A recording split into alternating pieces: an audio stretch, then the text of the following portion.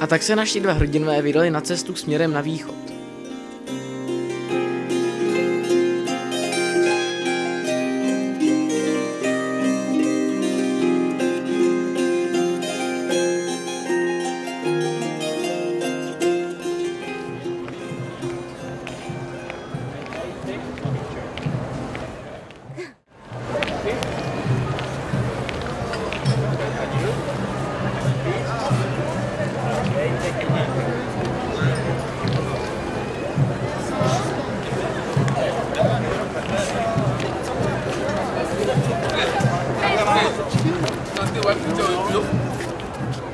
Prošli spěšně skrz rušnou lutéci,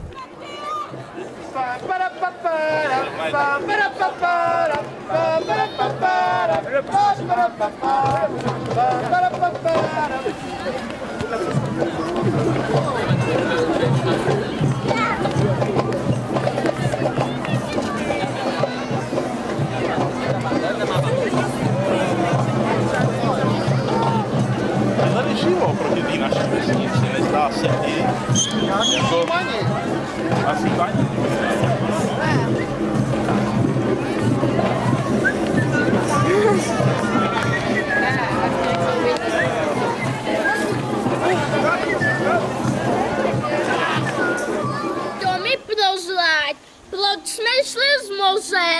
na řeku?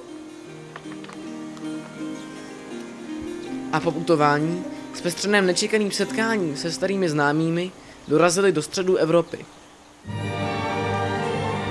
Je Obelixi, podívej se, jakou tady mají legrační horu. To je ale zvláštní. Jako by mi něco připomínala.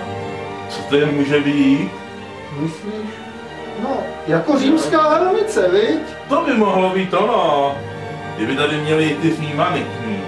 Pojďme se pod ní podívat.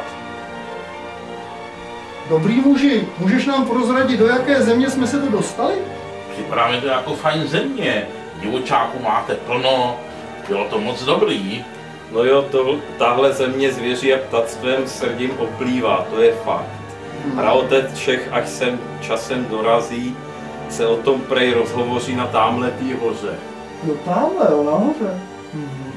A já tam, ale já tam nepolezu, stejně jsme tam byli dřív. No Já jsem praotec Bohem a tahle země se jmenuje Bohémie. Je to po mně a je tu pohoda. No tak to jsme u cíle. Teď ještě jenom najít ten recept na staropramenixův lektvar. Já mám žízeň. Tak si dej. Je, to je dobrý. Pěna jak na rozbouřeném moři u nás v Bretani. No a není to ten staropramenixův lektvar? Dobrý muži, nemůžeš nám prozradit, jak se to vaří? Lektvar, my tomu říkáme pivo. Aha. To se u nás normálně pije. A jak se to dělá, to nevím. Mě ho dodává náčelník Kro- Krokusix. On má tři dcery. Kvázi, Éru a Libušínu. Kvázi je šikovná holka a pivo vařit umí. Vyzná se i v kytkách. A na tý, do téhle várky prý něco dala nějakou popínavku. Ale není tam. No ale voní to dobře. Ale je to lepší, než bejvávalo. Vente to podle řeky na kroku Sixovo. Myslíš tamhle, jo? Určitě narazíte. No tak to musíme hned vyrazit. Jdeme, jdeme. Nemůžeme ještě dostat trochu. Ale nezdržuj se Obelixi a jdeme. Pojď, pojď, pojď. No, Ať ale- máme ten recept. No, dobře, dobře, dobře. Počkej, tamhle je ta velká řeka. Ale pivo prej Obelixi. prodávají tam.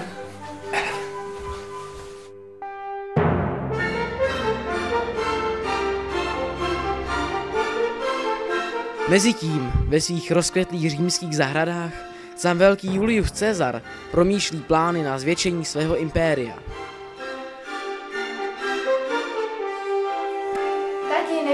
Včera dal toho skarabea, co jsme přivezli z Egypta? A nepřivezeš mi příště něco většího? Třeba obelisk, ten by se mi nestratil. Zde nějaké ovoce o Julie Cezara, o Julie. Tak tohle už je všechno naše. Až na nějakou tu galskou vesnici. Ale co tak překročit Danubium. Ale mohl by to být příliš nebezpečný podnik. Kmen bojů je možná příliš bojovný.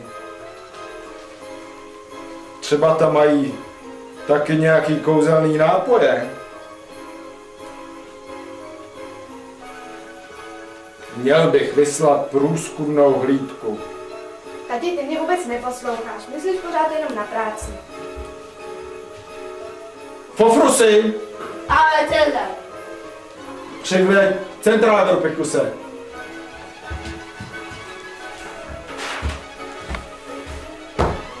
Ale Cezar. Centrátor Pikusy. Seženci mezilegionáři, několik dobrovolníků, posílám tě sem. Potřebuji informace o možných možnostech této země. Rozkaz, ale Cezar.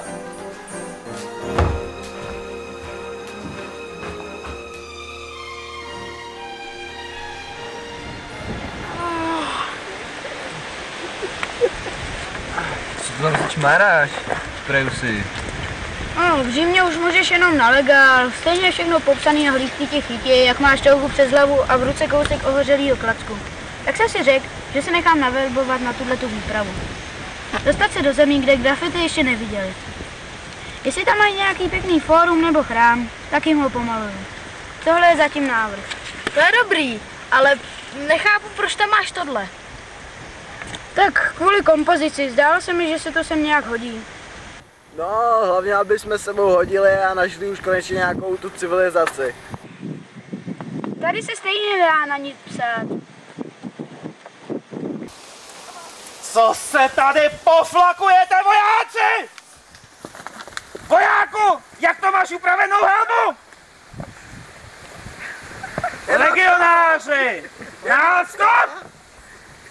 Vyrovnat! Tak se mi to líbí. Legionáři, tady v blízkém lese se pohybuje dcera náčelníka zdejšího kraje.